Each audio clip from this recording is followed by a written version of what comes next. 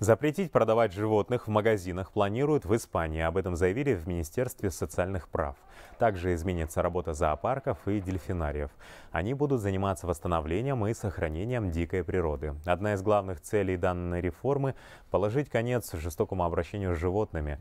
Нарушителям может грозить до двух лет тюрьмы. Теперь законопроект должен одобрить парламент.